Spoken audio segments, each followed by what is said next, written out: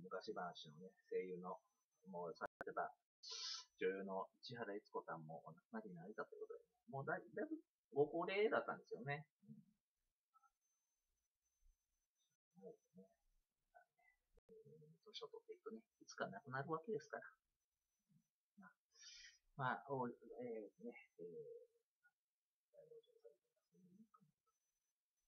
死なない人はいないということですね。そういえば、あの、ツイッターで発見したんですけども、あの、西川先生ね。えー、西川先生。な、な、なんですか？西川先生、逮捕されてた、収監されてたの？西川先生って。あの、ツイッターを発見しちゃったんですけどね、西川先生。札幌在住だったのが、な？ぜか今東京にいらっしゃるらしくて。まあ、なぜ東京のかどうかなんですけど、ね、まあ、また、配信の方にね、戻ってきていただいたらいい、いただきたいなという思いでございますですが、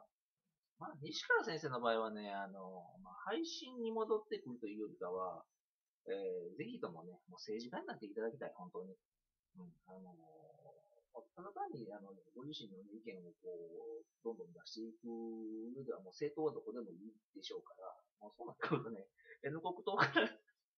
ぜひね、西川先生はね、政治家になっていただきたいなと思います。えー政治意識で、歌もないんですけど、さっきね、あの、人狼殺っていうゲームやったんですけどね、もう全然わかんないです。意味がわかんないです。意味がわかんないまんま、村人で一生、えー、人狼で一生しちゃったんですけどね。あれ、ただ単に、あの、低音であんまり喋らず、わかりません、素人ですってだけ言っとけば、ね、なんとなるのかな。で、その素人、素人で初心者の枠に、あの、なんかもう何何百千万はた、なんかもう戦ってるおっさんらが、こう、いつまでも粘着して、これ、こんな素人だからいらねえわ、みたいなことを言うと。何回も言わされたんだけど。じゃあ、プロの部屋行けよ、みたいな。昔ね、ヤフーオセロっていう部屋があって、ね、ラウンジで、まあ、喋った子と、その右上でテーブルを作って、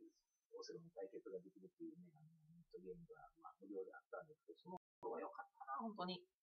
もう、ラウンジでチャットしながらね、あの、まあ、いつも荒らしてるやつがおって、でも、その嵐を要素にね、あの、赤レート、オレンジレートっていうのが、まあ、レートのルールでは高いレートの、あの、まあ、レベルの高いレートになるんですけど、その人たちが、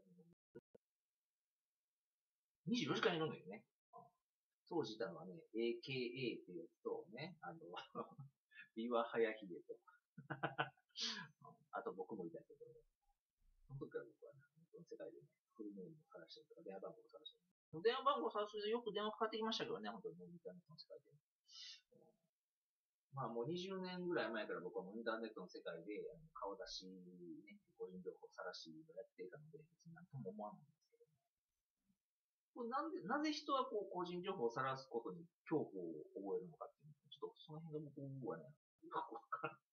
逆に自分からさらしていくスタイルだから、全然わかんないんですよ。そ個人情報がさらされたから何なの？みたいな。別にそのね、あの、銀行口座の、あの、暗証番号がバレたわけでもなく、どっから勝手に振り込みされるわけでもなく、お金を抜かれるわけでもなく、何も怯える必要もないのに、人たちに限ってね、あの、個人情報がどうぞのこう、あの、こうだっていう人が、世の中多いですよね、本当に。ちなみにこれ音声入ってるちゃんと。よくわかんないですけど。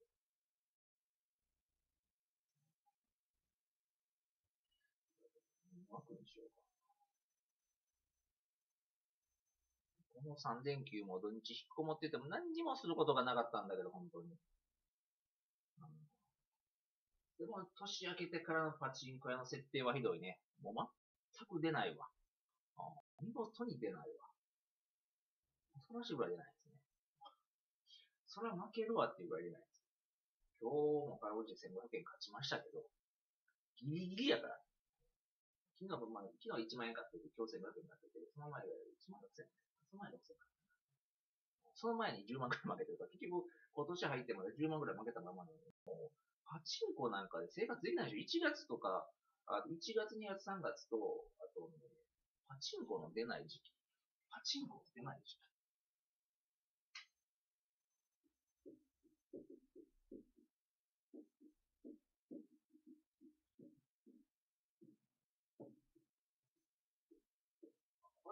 自分の経験でしかも何とも言えないので、ね、パチンコ屋さんで働いたこともないですけど、あの店長とかそんな設定とかもされないんで、わかんないですけど、多分おそらくこの出ない時期っていうのは、えー、1から3月。4月ちょっと出して、えー、こう、で、7出して、8、8月はするかな。で、9、そして11。おそらくこの辺は出さないんじゃないかな。逆にパチンコをするのは、えー、1、2、3、4月、5、6、7月、8、9月、12月。この4ヶ月だけパチンコをしたら勝てるんじゃないかなと思いま。あもちろんね、この時期だから、まあ出ない時期は、まあ出ないでしょうけど、出そうな時期だから必ず勝てるわけでも、この時期でも負けますから、まあ結局ね、この時期にいくら稼げるかになってくる。以前のようにね、あの、イベント、イベントっていう、あの、告知がどんどんどんどん規制されていって、ね、もう、あの、全くイベント日もできなくなったパチンコ屋をね、ゲームセンター以下ですから。唯一、あの、課金のできるゲームセンターだったのは、もうゲームセンター以下ですから。ゲームセンターの方が、おか、あの、コインゲームの方がまだ時間ないから遊べるからな。パチンコで食えんわ。昔はね、500円玉をまあ10枚、20枚握りしめていけばね、あの朝一モーニングのレンチャンキーからあの、まあ、充実なレンチャンキーを攻略することによってね、あの月2、30万の収入とか、素人でもなりてたのが、まあ、そのイベントをかけたりとかね、回転プロとかそんなだけで、えー、稼げたのが、もう今やね、あのね、これネットのせいやろね、これネット。もうインターネット広告のせいで、ね、ありとあらゆるイベントや何やかんやが世間に知れ渡ってしまってるもんですから、もうね、プロと素人の差がなくなったので、プロが食えなくなったっていうところかな。プロが、プロは食えなくなったけども、ね、あの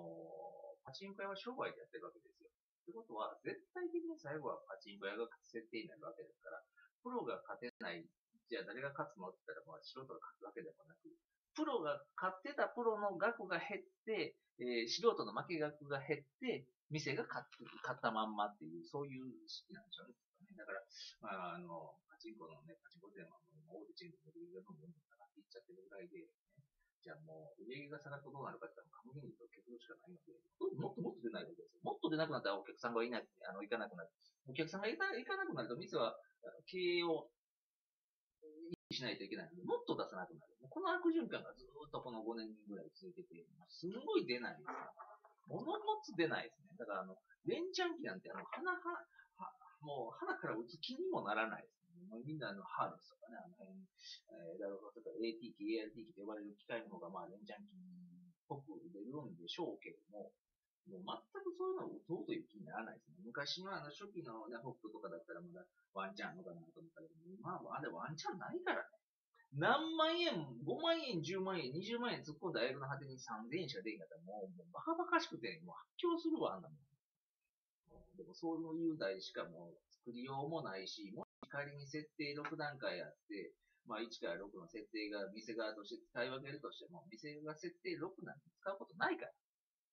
設定を6を使った分だけ使ってしまうと、設定6で出してしまった分、以上にお店は回収しないといけなくなるので、もっと辛くなるのね。じゃあ、花からもう設定を1から2、えー、まあ、3、4ぐらい入れとけば、店としては安泰なわけですよ。でも、全力やってみたりとか、4、5やってみたりとかって、そういうのを、まあまあ、えー、示唆しながらね、もう、まあ、発表はなかなか厳しい。特に大阪はでもそういうの一切できないみたいです。なんだったら、新装開店の看板ですからなんか、こそこそ出して、こそこそと早めに直したりとかするような、そんな古速の営業しかできないような地域になっちゃいましたから、そうなってくると、もう設定が入ってることもないので、大阪市内でパチンコで勝つ、パチスロで勝つっていうことはもう、不可能。不可能に近いとかではなくて、不可能ですね。大阪は勝てないよ、本当に。おそらく、ね、大阪からパチプロというパチプロがね、全員消えていくんじゃないかな。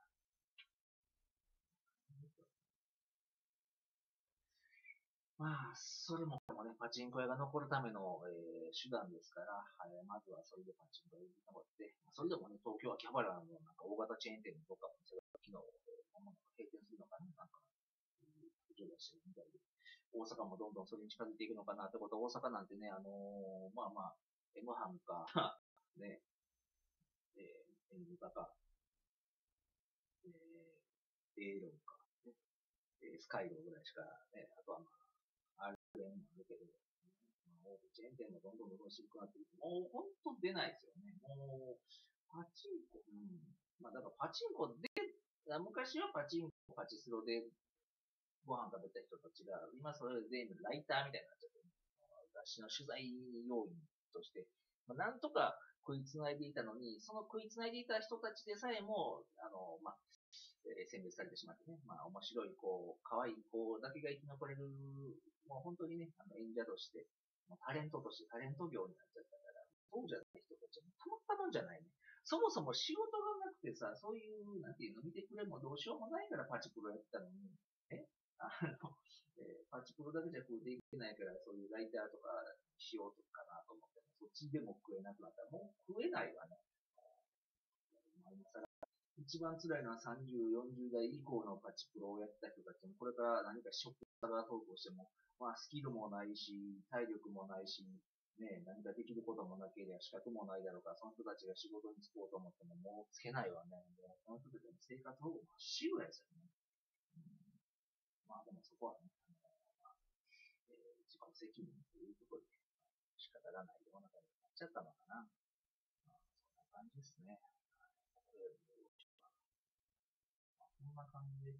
まあ、パチンコ、そうですね。まあ、次は4月ぐらいをめどにね、まあ、4月をめどに、1月か3月は諦めておとなしくね、アルバイトでもしながらね、あの次の、えー、春を待つのが一番大事な時期なんじゃないかなっていう感じですよね、パチンコに関しては、本当に。うん、もうこれ以外何も言えないわ、本当に。ま、毎回大阪大遊興、大阪遊戯協同組合が仕切ってるんですよ。昔から大阪って損よね。あのー、関東とか、その他の地域は24時間営業、例えば9時オープンだとかね、夜中の12時までやったりとか、24時間営業やったりとか、あとあの、10日交換なんか大阪だけはずっと何でもかんでも規制厳しいのよね。朝の10時オープン、閉店10時半、まあまあ10時45分ぐらいになったけども、11時っていうのはないからね、どこもかしこも。で、2円50銭交換、2円25銭交換とかで交換率もあるし、ね、何をやっても大阪って損よね。大阪ほんと損。もう、ダメだ。パチンコ大阪では打っちゃダメだわ。大阪がなぜそんなに厳しいのかっていうのはわかんないですけどね。まあ人間は厳しいんでしょうね。そういうに対するものの見方の厳しい人が大阪に多いんだろうなっていうことを痛感しますね。じゃあまあ、あの、いつもよくあの別の話やって、NHK の受信契約率にも関わってくるかと思うけど、大阪の受信契約の契約率は非常に低い。あの、本当に NHK の受信契約率が低いですよ、大阪。の地域スタッフなんかやってると、もう、成田見ると、驚愕の事実をしてしまいますけどね。ここピンポンしたの隣もピンポンせなあかんのか。え、またその隣もピンポンせなあかんのか。まだその隣も、え、またその隣、どんだけピンポン連打できんねん、みたいな。1日10件ぐらいちゃんか訪問件するね。1日200件、300件訪問できちゃうね、これ、みたいな。特にあの集合住宅で大阪はそれぐらい受信契約率が悪いですから、もう本当にね、まあ、地域差もたくさんいるし、まあ、あの、委託会社もね、下請け会社もいろんなことあるんでしょうけど、あの、下請け会社が、あまあ、あの、NHK の話に変わりますけど、下請け会社にね、NHK があの仕事を下ろしたからといって、あの、受信料がね、そこで使わ,、まあ、使われるんですけども、あの全部成果主義なんで、下請け会社に振っただけではね、NHK 損しない仕組みになってるんですよね、あの受信料ってね。NHK から下請けの会社ね。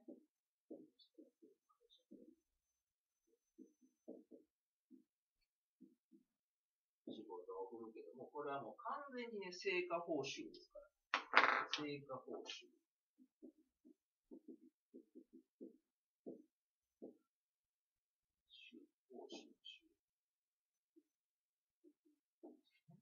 成果報酬ですから、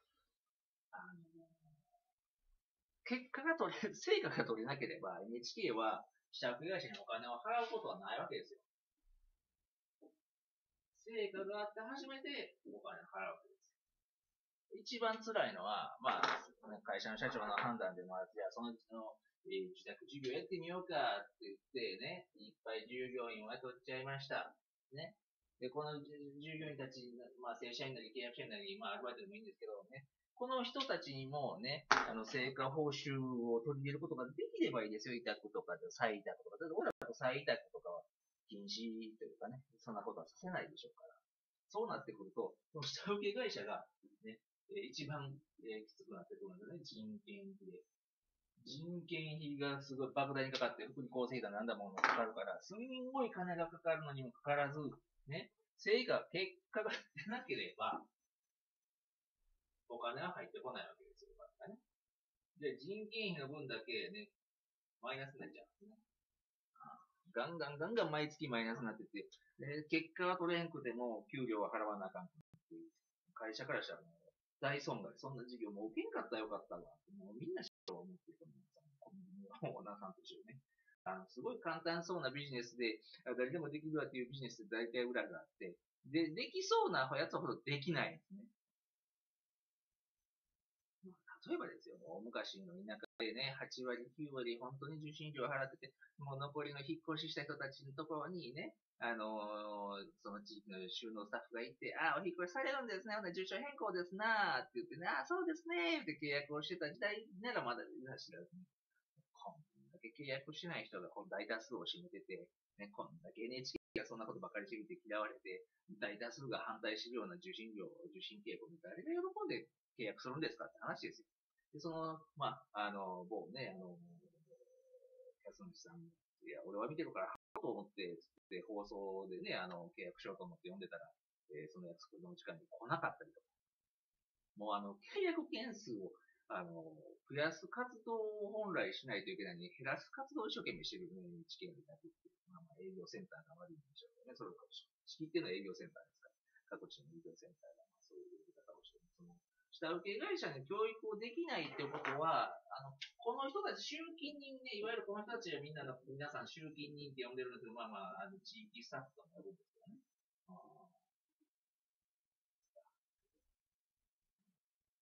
この人たちがね、横暴な態度を取るのはなぜかって言ったら、まあ、ここの会社が、ね、そんな厳しい指導をしてるから、まあ、ちゃんとした指導をしてないからそんな対応するんでしょうけど、母校を取り仕切っている営業センターっていうのが各地にあるわけですよ。NHK でね。ここがちゃんと指導してないからそうなんだ。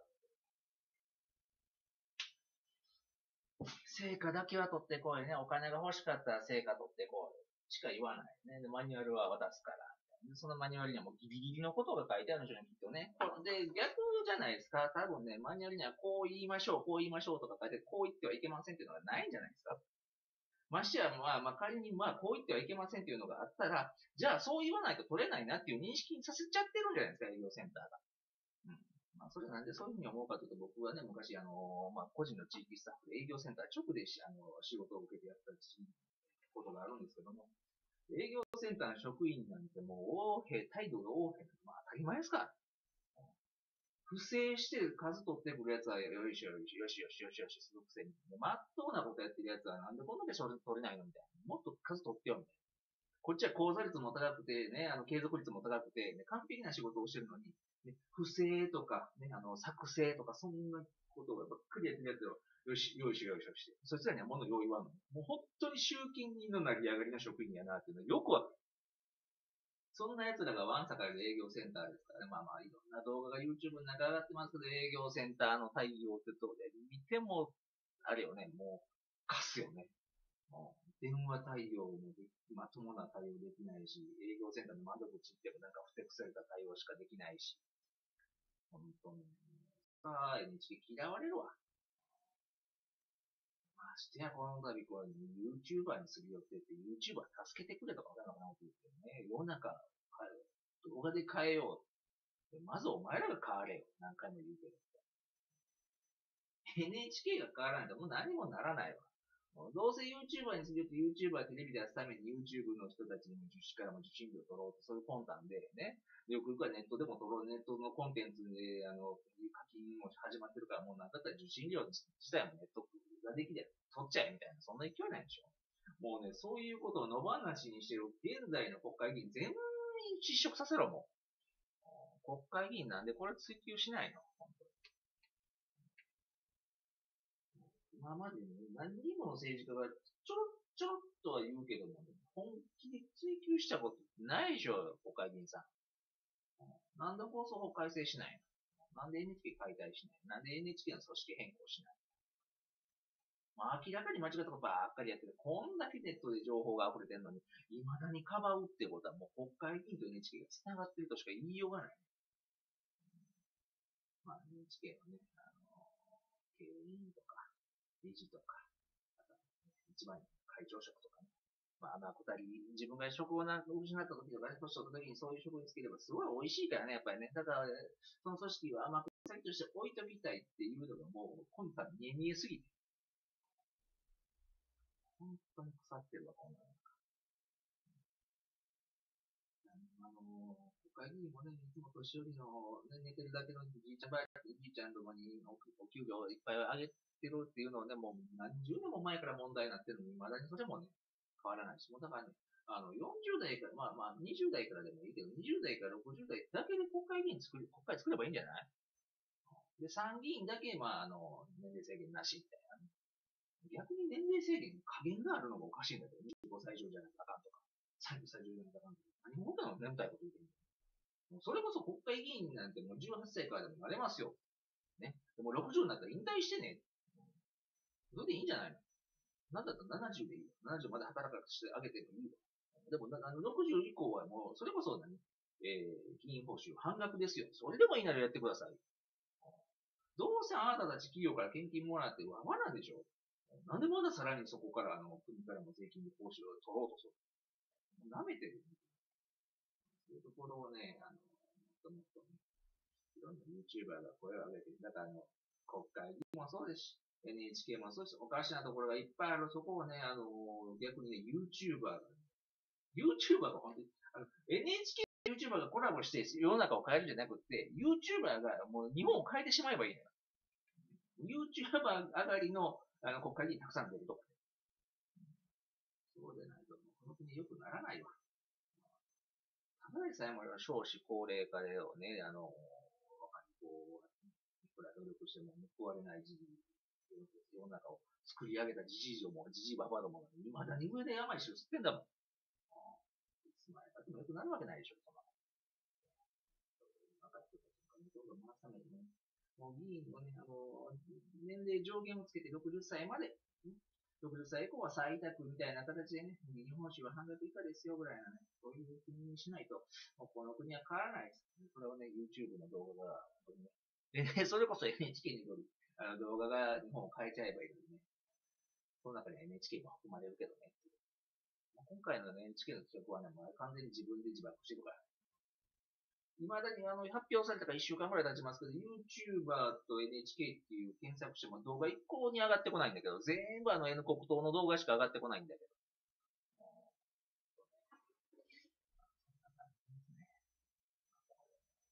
といそうことでね、世の中を変えるというか、NHK だ、世の中、NH、YouTuber と NHK が変えるんだけど、YouTuber が NHK を含む世の中を変えるっていう。いや、本当に NHK 今回は逆にいいことしたんじゃない？もう自分で自分、事情能力がなくて自分で自分のことを変えれないから YouTuber に変えてもらおう。ね、で世の中を変えるんじゃなくて、ね、我々 NHK 自らも含めた世の中を変えてねっていう意味なんじゃないですかね。もうそうとしか思えない。NHK をこの今の現代、この今までのこの体制でよくはならないわ。戦後70年やってって完全に腐敗しきっとるから。腐りまくっとるから。もう残された唯一の、まあまあ1950年ぐらいからかな。戦後間もなくはなかったでしょうから、まあ、あの、こういった法人でしょうけど、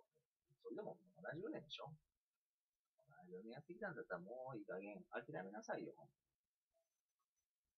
せっかく次上狙ったのになんてね、そんな人らのことまでね、考える必要もないし、ね。あの、国会中継なんて税金もらってんのにね、途中でやらん、あま、あの、全部放送しなかったりとか、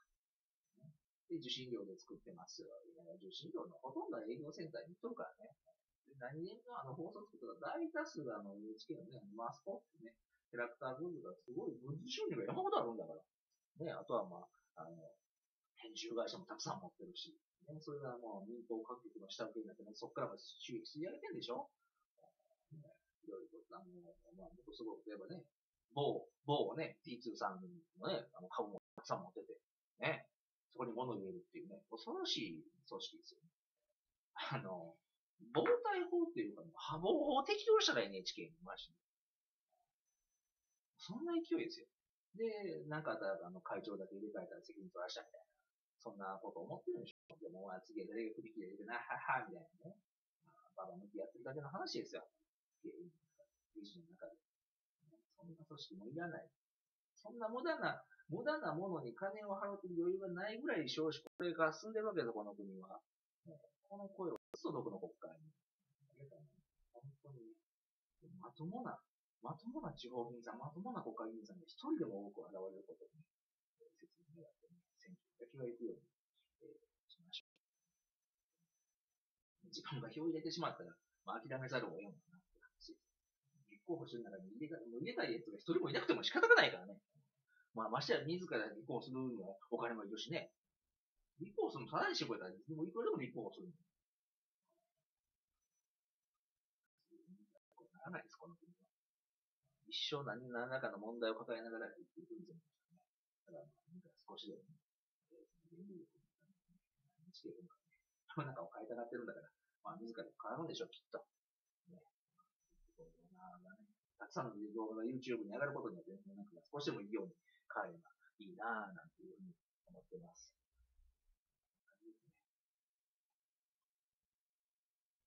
まあ、このチャンネルがね、よかったら、あの、また、あの、チャンネル登録していただいて、こういう真面目な、真面目な、僕は真面目な YouTuber ですからね、あの、決して、あの、普段おふざけをやってるような YouTuber じゃないですけど、まあ、半分ぐらいの動画はね、ふざけてやってるんだけど。ね、たまにはこういうね、社会的な、あの、まともな配信の、あの、動画を、作っていこうと思います。バッチで作ってね、変なコメントがばっかりになるから作れないけど、ツイキャスだと